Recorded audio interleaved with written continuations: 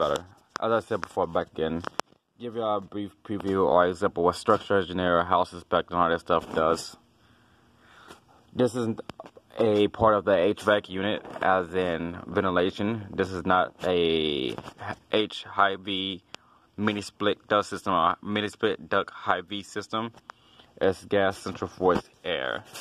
Now, normally, if you want to find the age of your air conditioning unit, you will look at the model number.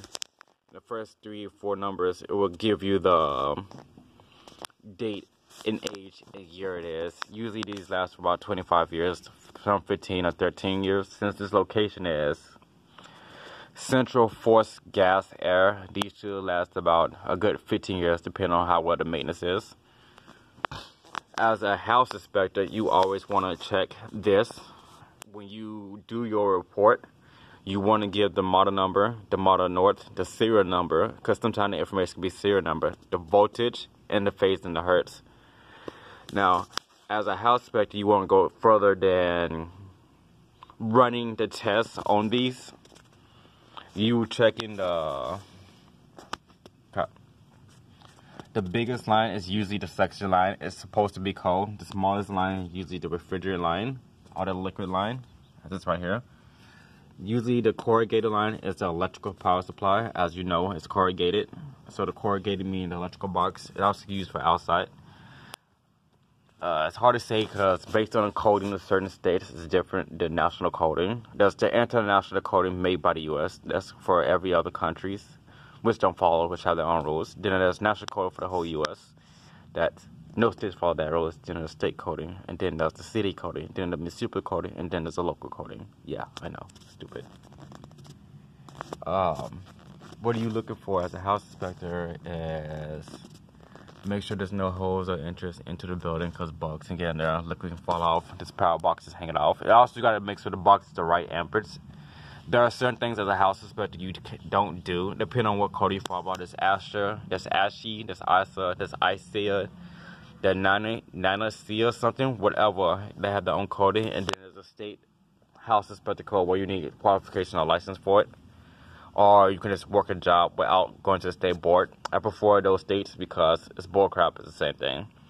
If you do enough construction or HVAC or anything like that, you get the guys who need to be there or not But you know, whatever. And you also want to make sure these kind of units, the air conditioning unit is sitting about three to four inches off the ground. This is correct here, but the suction line and the refrigerator line that going in the building has all dampened. You can tell they try to put coagulant on it, which is not good for this, but you know, whatever. Power box hanging off as well.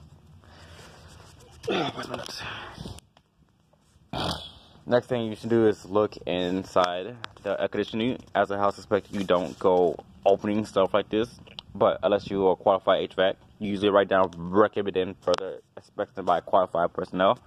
If you're like me with a qualification HVAC and HVAC R, then you can. Let's make sure you put that down as separate. What you're looking for is any dent, any breaking fans and stuff. You can tell the compressor and the refrigerant at the bottom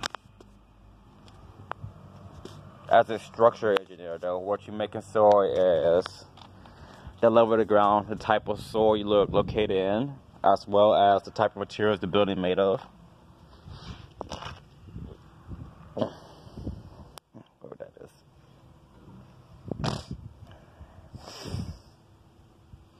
On top of that, if any trees or bushes nearby, if you have a bunch of trees right nearby this thing right here, then you are going to uh, not have good airflow coming in. Usually, what you do when you check out, coming outside, make sure you have hot air coming out or cold air coming out.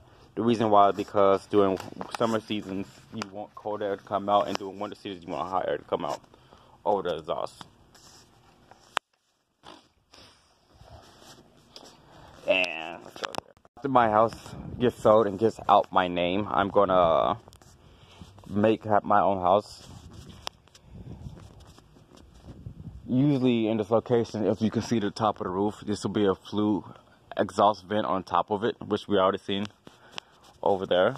There should be a certain feet, I don't know what the state law is, off the valley and away from the ridge, as same as away from the, what's that?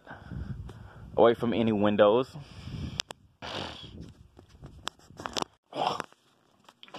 As I said before, as soon as I sell my house and just out my name, I'm gonna build my house up from scratch. No more expecting cold bull crap stuff.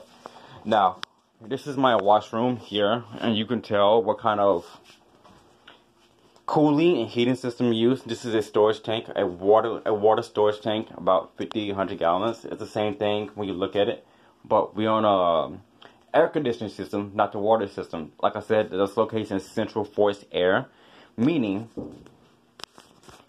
there's a burner with a boiler go, go through a ventilation duct that bring in the gas line, which is the yellow one. If I remember, yeah, it's yellow line, gas line that comes in, comes going through here now. I'm not gonna go too far details for this video, but usually the gas line does go into the gas vent. All the exhaust gas will get burned out and go throughout the flue system while the other gas go out through the building and heat up the room and location. And then there's the water vent right there well right there. Uh, my bad. But this is not a mini split duct system though. That's for sure that I know of. Unless it's one of the new ones, which I doubt it. I'm out with housing inspecting one and mini split duct systems.